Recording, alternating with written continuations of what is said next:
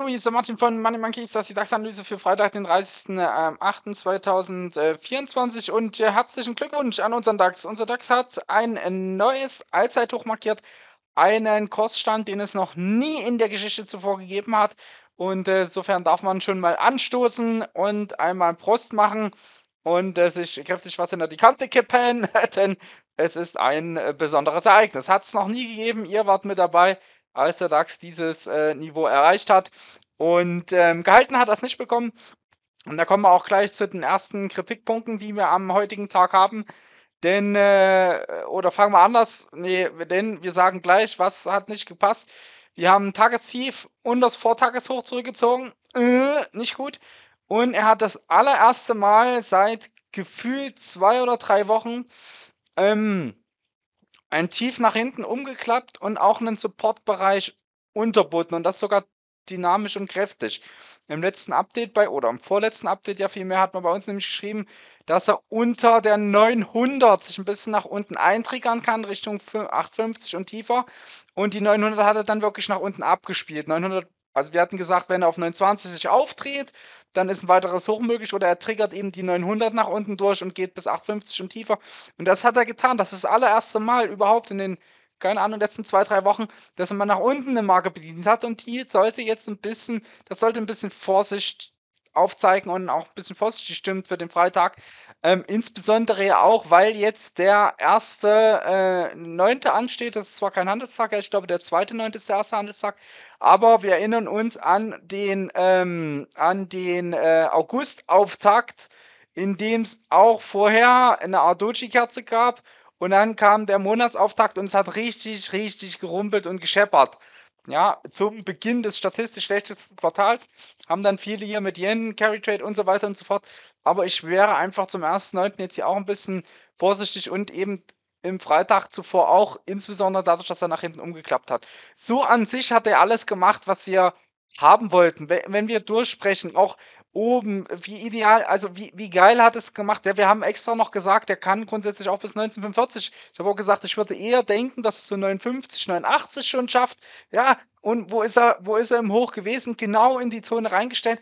Und das ist eben typisch als Vorbereitung für einen Durchschuss. Das macht der DAX eigentlich immer so.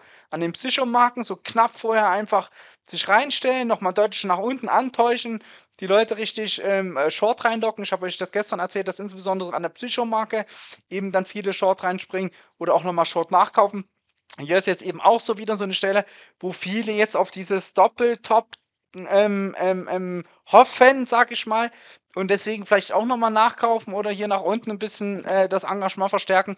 Und das könnte er natürlich nutzen, um sich am Freitag jetzt komplett gnadenlos bis zum Tagesschluss auf Tageshoch oben nochmal eine vom Ast zu zeppeln und dann vielleicht wirklich Anfang September, den 1. September nach unten wegzuschroten. Oder den 2. September ist es ja dann, ja, der erste Handelstag im September.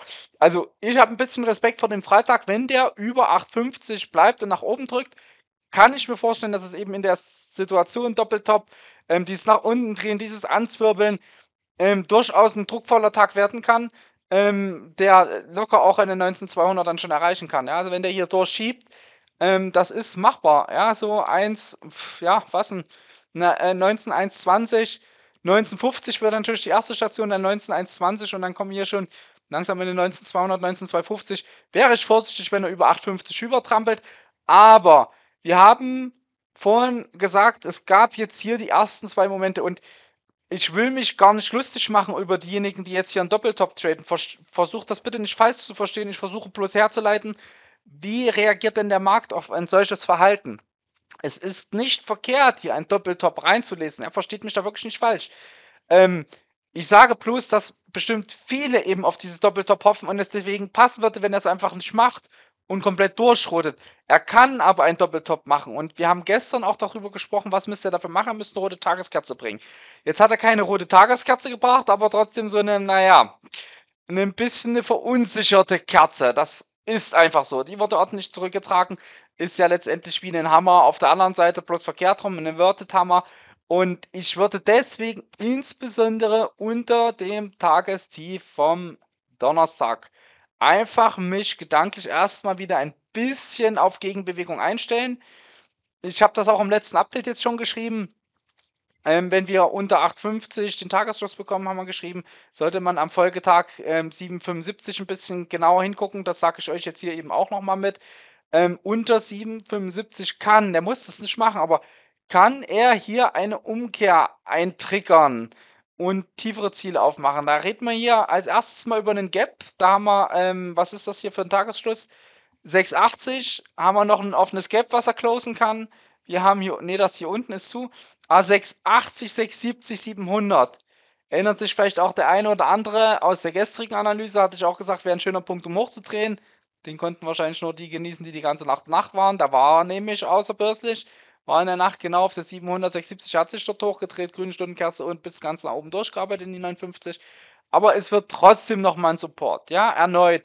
Also geht er unter 775, kann das gut und gerne eine 776 einleiten und wenn der dort schon mal ist und kriegt sich da nicht aufgedreht, gehen wir wieder auf eine 550, 575. Und wenn er auch dort nicht auftritt, macht das Gap bei 54 zu. Und dann merkt er schon, dann wenn, wenn, wenn, wenn, wenn, klackert es sich nach unten natürlich immer mehr durch. Das heißt, das Ganze, die ganze Show beginnt hier oben. Ja, mit dem Unterbieten von 57 macht er sich einfach Chancen nach oben auf. Und deswegen würde ich zum Freitag dort genau hingucken. Wenn wir dann sehen, der unterbietet nur kurz 775 und ballert direkt nach oben los wie ein Bekloppter, dann war es eine Bullenfalle, äh, eine Bärenfalle und der drückt sich hier oben raus. Und überhaupt, grundsätzlich, über 850 für mich ist die Kiste dann long und aufwärts gerichtet. Und ich kann mir das gut vorstellen, dass der sogar Tempo aufnimmt zum Freitag. Dass er sich wirklich druckvoll richtig so eine richtige Kotzkerze macht, wo der Letzte ähm, die Nerven verliert, sein Short schließt, Long reinkauft, am besten noch 21.30 Uhr in der allerletzten Not, in der auf die allerletzte Rille und dann kommt Montag die Gegenbewegung. Das wäre Klassiker einfach. Es wäre für den DAX zu typisch, als dass ich es ignorieren würde und deswegen mich oberhalb von 8,50 aufwärts orientiere. Aber ich nehme auch die Warnsignale wahr. Ich nehme auch wahr, dass die Möglichkeit eines Doppelstops durchaus besteht.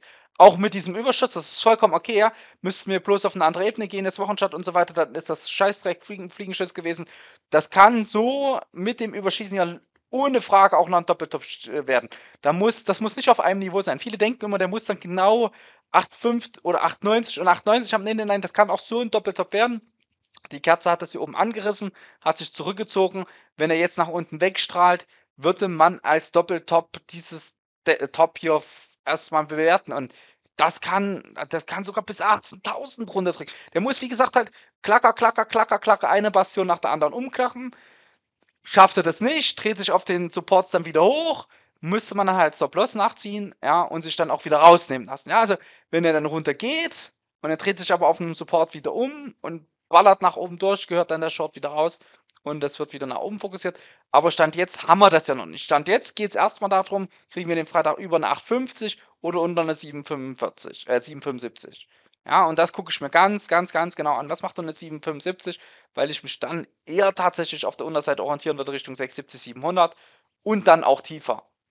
Ja, wenn er das nur so anreißt und dreht sich direkt um, ja, Bärenfalle möglich, aber ich nehme das so, wie es kommt. Unter 7,75 ist er für mich eher auf der Unterseite interessant. Oberhalb von 8,50 ignoriere ich es komplett.